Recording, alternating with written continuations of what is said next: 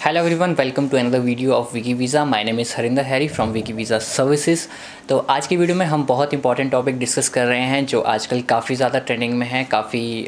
इस टॉपिक को लेकर बहुत ज़्यादा बच्चे परेशान हैं स्टूडेंट्स परेशान हैं ऑफ़ क्यूबिक प्रोविंस जिन्होंने Herzing college CDI college MCIT college Canada college और जो बाकी लिस्ट के टेन कॉलेज जो सस्पेंड हुए हैं, उनमें अप्लाई किया है। उनको डॉक्यूमेंट रिक्वेस्ट लेटर जो है एम्बेसी की तरफ़ से आ रही है। तो डॉक्यूमेंट्स जो रिक्वेस्ट लेटर है, उसमें एक जो पॉइंट है that is your updated study plan तो इस वीडियो में हम डिस्कस करेंगे कि हमने अपडेटेड स्टडी प्लान कैसे अपना जो डिस्क्लोज़ करना है, कैसे जस्टिफाई करना है, कैसे हमने लिखना है। तो चलिए इस वीडियो को स्टार्ट करते हैं।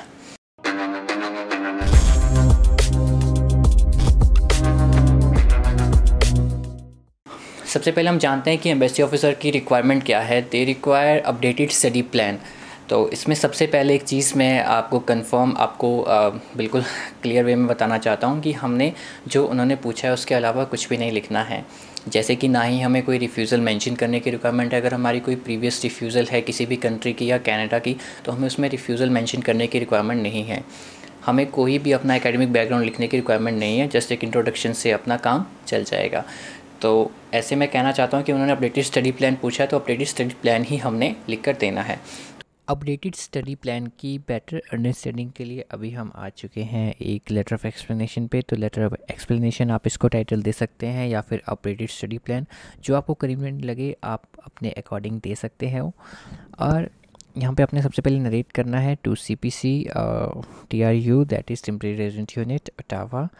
और इसके बाद आपने रिस्पेक्टेड ऑफिसर आप लिख सकते हो। और अपना ब्रीफ इंट्रोडक्शन देना है विद इन टू लाइन्स जैसे कि यहाँ पे इंट्रोडक्शन आई आपका नाम, आपका एड्रेस और आपका date of birth passport number और आपको किस दिन जो डॉक्यूमेंट रिक्वेस्ट आई है, वो आपने कंप्लीट यहाँ पर लिखना है। For your kind reference I would like to mention that I had applied for my student visa application for this course and for this college on which date you applied तो वो date आपने लिखना है with U C and your application number for whatever intake you had applied अब आपने, अगर आपका AIP जो अप्रूवल अप्रूवल इन प्रिंसिपल आया है तो आपने ये तीन लाइंस भी लिखनी है। थोड़ा सा इनको अपने अकॉर्डिंग आप लिख सकते हो, जैसे आपको कन्वीनियंट लगे, वैसे आप कर सकते हो। और अब मेन पॉइंट पर हम आते हैं, जिसके लिए हम ये कंप्लीट लेटर जिसके लिए आप ये वीडियो देख रहे हो that is that is updated study plan and purpose of your studies तो अगर आप यहाँ पे देखोगे तो सबसे ज़्यादा इंपॉर्टेंट यहाँ पर हमारी प्रीवियस एसओपी है। हमने सबसे पहले ये देखना है कि हमारी प्रीवियस एसओपी में क्या चीज़ें मेंशन हुई है, क्या चीज़ें उसमें वीज़ा ऑफिसर को कन्विंस करने के लिए लगाई गई हैं। तो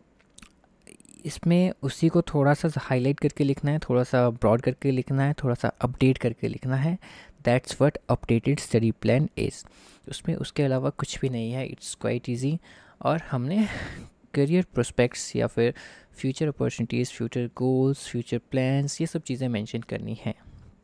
तो जैसे यहाँ पे लिखा गया है I am taking online classes from Herzing college for business admin since state my main objective of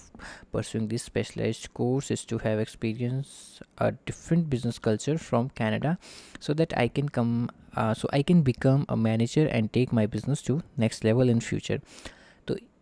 अगर ये लाइंस लिखी गई हैं तो मोस्ट प्रोबली जो प्रीवियस एसओपी है, उसमें ये चीज़ें ज़रूर मेंशन हुई हैं कि वो अपना बिज़नेस जो नेक्स्ट लेवल पर लेकर जाना चाहते हैं।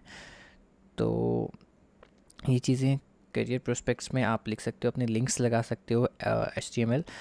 यहाँ पर कि आपकी क्या क्या रिक्वायरमेंट्स हैं और रिक्वायरमेंट्स के according requirements I am not talking about your requirements I am talking requirements जो कि आपको जॉब प्रोफ़ाइल में हेल्प करती है, जैसे कोई कंपनीज़ में है लाइक यहाँ पर मैंशन है कॉथरेज बजाज विप्रो एंड रिलायंस तो ऐसी कौन कौन सी एम हैं जहाँ पर आप काम कर सकते हो, उनका लिंक्स लगा सकते हो, उनकी जो एवरेज सैलरीज हैं, उनका लिंक लगा सकते हो, ताकि आप अपना करियर प्रोस्पेक्टिव जो है मैंशन कर सकते हैं. एंड दूसरी बात यह कि आपके जो फ्यूचर प्लान्स है दिस इज़ नॉट मैंडेटरी कि वो इंडिया में आकर ही होंगे। You can move to any of the country like you can move to U S you can write on in S O P you can move to U K you can move to U A you can move to Australia you can move to any in the globe तो ऐसा कोई problem नहीं होता है। तो हमारा updated study plan and career prospective ये easily यहाँ पर मेंशन हो गया है। एंड जो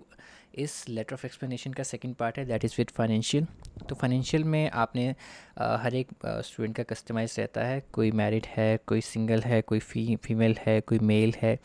तो ये सब चीज़ें कस्टमाइज़ रहता है तो आप यहाँ से रेफरेंस ले सकते हो। तो इसको मैं रीड आउट नहीं करूँगा क्योंकि हर एक का कस्टमाइज़ रहता है। बट हम इसको बेटर अंडरस्टैंडिंग के लिए ऑफ़ एम्बेसी ऑफिसर इसको हम एक टेबल की फॉर्म में बना सकते हैं जहाँ पे हमने नेम ऑफ़ ऑल स्पॉन्सर दो स्पॉन्सर्स हैं, तीन स्पॉन्सर्स हैं बेसिकली दो रहते हैं बट कुछ केसेस में तीन चार भी रहते हैं और किसी में एक भी रहता है तो वो बहुत रेयर केसेस होते हैं। तो relationship father mother husband wife whatever relationship it is and source of income job है बिज़नेस है पेंशन है तो ये मैंने फॉर्मेट बनाया है उस तरीके से। एंड उनकी जो इनकम है वो आईएनआर में and amount in CAD CAD में जो भी अमाउंट बनता है उसको आप जो डॉलर रेट है उससे डिवाइड करके आप निकाल सकते हैं। एंड इसके अलावा आपकी कोई सेविंग्स अगर हैं तो वो भी मेंशन यहाँ पे कर सकते हैं। एंड अगर इसके अलावा भी आपको कोई प्रॉब्लम आती है to create your S O P you can directly D M on Instagram Instagram handle screen पे है, आप बिल्कुल डी एम कर दीजिए, आप आपकी कंप्लीट हेल्प की जाएगी एंड जो हेल्प है वो कोई दिक्कत नहीं है। वी विल हेल्प जितना अच्छे से हम कर सकते हैं हम हेल्प करेंगे आपकी। और आई um, होप आपको लेटर ऑफ़ एक्सप्लेनेशन थोड़ा सा क्लियर हो गया होगा इस लेटर ऑफ़ एक्सप्लेनेशन को देख करके। आई uh, होप इस वीडियो में आपको क्लियर हो गया होगा कि हमने अपना स्टडी uh, प्लान कैसे मेंशन करना है कैसे एम्बेसी uh, ऑफिसर को एड्रेस करना है। तो मिलते हैं नेक्स्ट वीडियो में. Till then bye bye and take care